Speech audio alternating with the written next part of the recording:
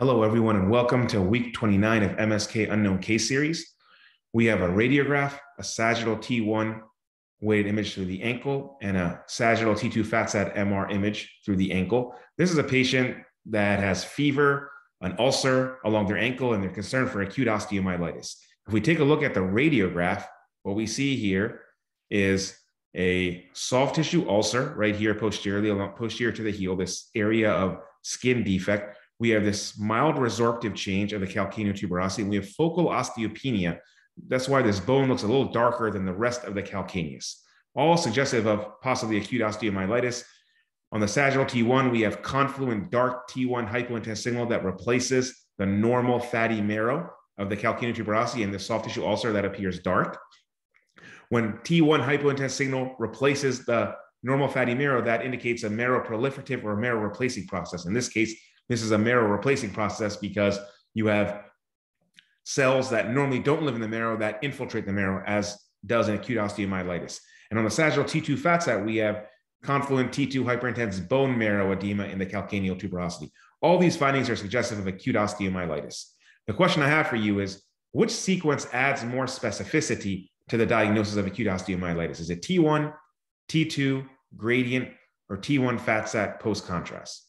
And the question is about specificity, not sensitivity, but specificity. We, of course, know that a T1 adds more specificity because of the replacement of the normal fatty marrow with confluent dark T1 hypointense signal. Had the question been about sensitivity, of course, the answer would have been T2 weighted imaging.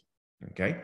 So acute osteomyelitis reflects infection of the bone marrow. There's three ways or three routes we can get acute osteomyelitis the direct hematogenous and contiguous spread. Direct is when you have direct inoculation of infection from surgery or iatrogenic injury into the bone directly. Hematogenous is usually inside out. So the infection starts within the bone marrow, then travels to the cortex known as osteitis, then the periosteum known as periostitis, then into the soft tissues where it can result in an abscess or the muscles can be infected, resulting in myositis. Then, of course, into the subcutaneous tissues, suggesting cellulitis, and then possibly to the skin surface.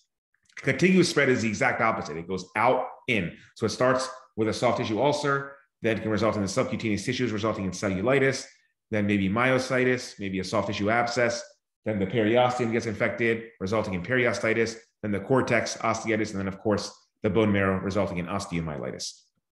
There are common places to get osteomyelitis in the ankle and foot that I want you guys to understand, which some of which is the medial and lateral malleoli in the ankle, the posterior calcaneus or the calcaneal tuberosity, as we saw in this case, the first and fifth metatarsal heads, and all the phalanges, right? So the first and fifth metatarsal heads and the phalanges, because they're pressure points, and all these areas are very high yield places to get acute osteomyelitis in the ankle and foot. So please, when you have an osteomyelitis case on x-ray, scrutinize these areas very well and look to see if there is radiographic evidence of acute osteomyelitis. Now, on radiography, you're looking for cortical irregularity, destruction of the bone, perhaps some periosteal reaction, a soft tissue ulcer, maybe soft tissue gas. These are all signs of radiography of acute osteomyelitis. Now, you should know that radiography can lag behind MRI findings by even up to 14 to 21 days, right? So just because acutely you have a negative X-ray for acute osteomyelitis, it doesn't mean that they don't have acute osteomyelitis. On MRI, you're looking for T1 dark confluent hypointense signal to replace the normal fatty marrow. And on T2, you're looking for bone marrow edema. Of course, we know that T1 is more specific for osteomyelitis. T2 is more sensitive for the diagnosis of acute osteomyelitis. Subacute osteomyelitis, when the acute osteomyelitis flare has you know, gone down, there are certain entities that you should be aware of and buzzwords, quite frankly, for acute osteomyelitis that everyone should have as part of their vocabulary. So a sequestrum is an area of necrotic bone, often dense on radiography, uh, that occurs from in subacute osteomyelitis. The involucrum is that periosteal reaction or granulation tissue that walls off that infection that we can often see on radiography and CT.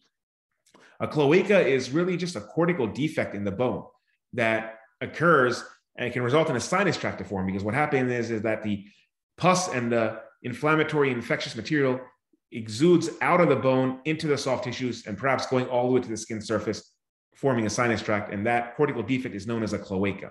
And of course, finally, a Brodie's abscess is just an intraosseous abscess, and it's an intraosseous infected fluid collection, often occurs in the metaphysis of a long bone. It'll present with T2 bright signal with peripheral uh, rim enhancement if you do contrast with that MRI exam.